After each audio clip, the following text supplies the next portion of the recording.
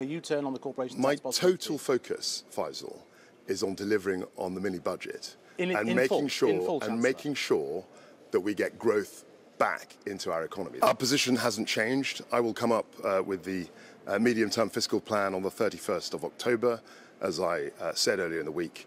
Uh, and there'll be more detail there. What I am uh, going to uh, acknowledge is the fact that it is a very dicey situation globally.